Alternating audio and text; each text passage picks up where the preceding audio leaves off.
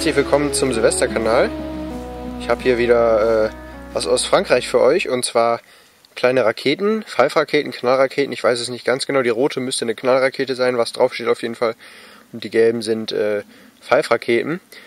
Die haben wir jetzt hier geschenkt bekommen bei einem kleinen Kiosk. Der hatte die irgendwie rumliegen, hat uns die noch mitgegeben, wo wir äh, die anderen Sachen gekauft haben, die ich bis jetzt so aus Frankreich getestet habe. Und ich würde sagen, wir schauen uns die einfach mal an, testen die mal und ähm, sagen euch dann, wie die waren.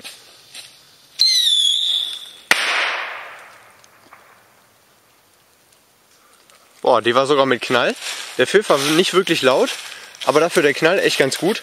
Hat er echt durch äh, die halbe Region ge geheilt sozusagen.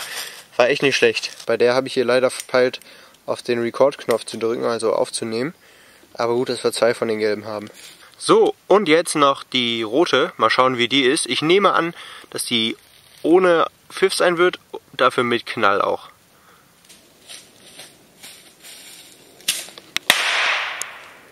Wow.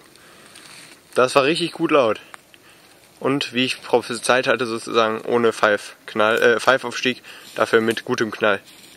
Nicht schlecht. Gut, das war's. Lasst mir ein Abo da. Bis zum nächsten Mal. Tschüss.